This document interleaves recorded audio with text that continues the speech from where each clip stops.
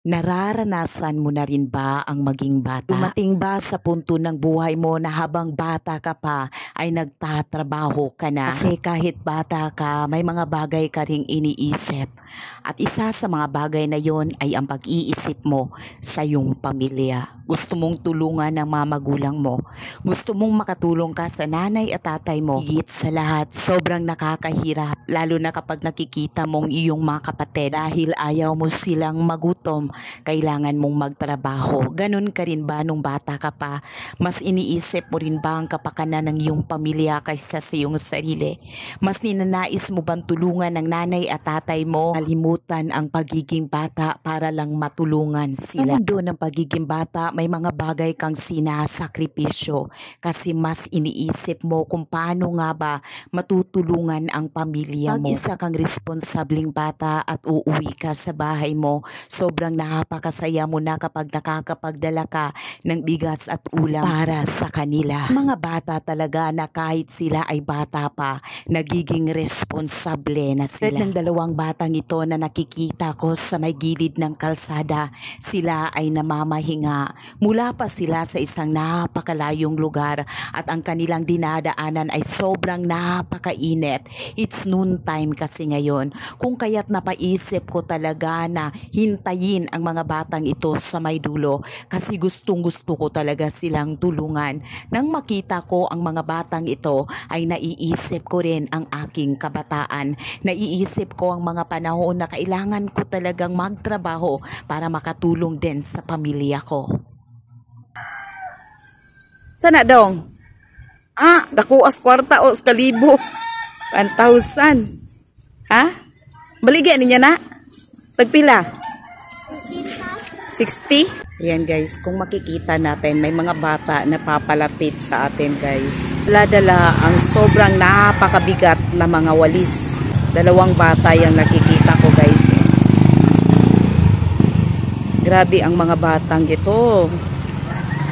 Sa gitna po ng tirik ng araw.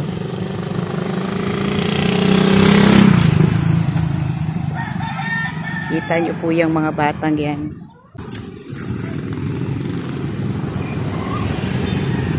Ayan, sobrang napakahirap sa mga batang ito. Napakaliit pa nila pero nagdadala sila niyang napakabigat na mga walis ting-ting. Marami yata yan guys oh. Kasi kitang kita ko talagang Ah, dako as kwarta o kalibo. 1,000. Ha? Baligyan niya na? Pagpila? 60? Yan guys, oh. 60 pesos. Maninda sila ng mga walis, guys, for 60 pesos. Yan, oh. Kisa nagkuha na? Sinong kumukuha niyan? Mama. Mama ni mo? Kapera sila, oh. 1,000. Eh na ba kayo? Kumain na pala sila. So ayan guys, ititinda nila sa atin ito. Mga bata pa lang sila pero marunong na talaga silang magtinda no. Sige dong, kuhay ko yan. Pauna ko yan. Ayan. Lapod guys oh. Mga bata pero naghanap buhay na. Dahil naiintindihan ko na sila ay bata at hindi talaga madali ang kanilang pinagdaanan, lalo na't sobrang napakainit talaga ng araw kung kaya't binili ko talaga ang kanilang mga walis tingting. Pinabilang ko ito sa kanila at binayaran ko na. Ang rason kung bakit ko ito binideo is para ipakita sa inyong lahat na lahat tayo ay mayroong kapasidad na pwede tayong makahanap ng salapi sa mabuti at magandang paraan. Hindi na natin kailangang mang-scam ng tao.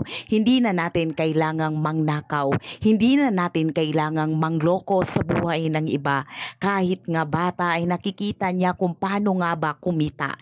Ikaw pa kaya, lalo na kapag malakas ka, pag may talino ka.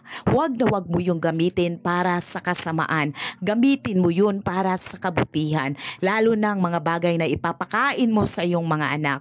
Gumawa ka ng tama at hindi mali. Ito ang mga bagay bata na naging example, naging ihemplo para sa lahat. Para din sa lahat ng mga kabataan na nandyan na nanunood ng video na ito. Sana igalang, mahalin at lagi niyong iisipin na magpasalamat sa inyong mga magulang sapagkat dahil sa kanila na nagtatrabaho para sa inyo, hindi nyo na kailangang magtrabaho tulad ng mga batang ito.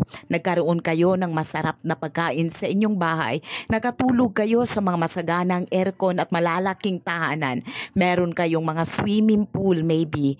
Lagi nyo itong tatandaan, pasalamatan nyo ang Diyos sapagkat binigyan niya kayo ng napakabuting mga magulang, mga magulang na walang ibang iniisip kundi ang inyong kapakanan.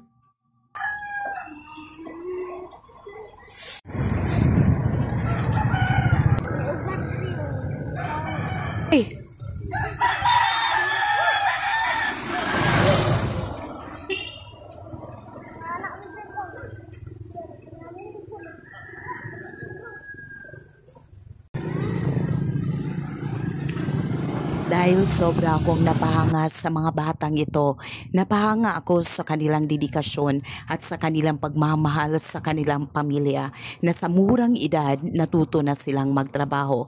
Kaya't hindi na talaga ako nagdadalawang isip na bilhin ang kanilang mga walis tingting kung kaya't binilang at tiningnan nila ito para itinda nila sa akin. Para sa inyong dalawa kung makita nyo man ang videong ito, sana ipagpatuloy nyo ang pagiging mabait, matulungin ng mga bata. Kasi tunay nga na kayo ay kahanga-hanga at maraming mga bata na kagaya nyo na gusto nila na tularan kayo. Sana ipagpatuloy nyo rin ang inyong pag-aaral kasi importante yon. Mag-aral kayong mabuti at wag na wag nyong kakalimutan ang manalig sa Panginoon, ang pagpapatuloy sa pagdadasal at pagsang bit na buhay na pangalan niya.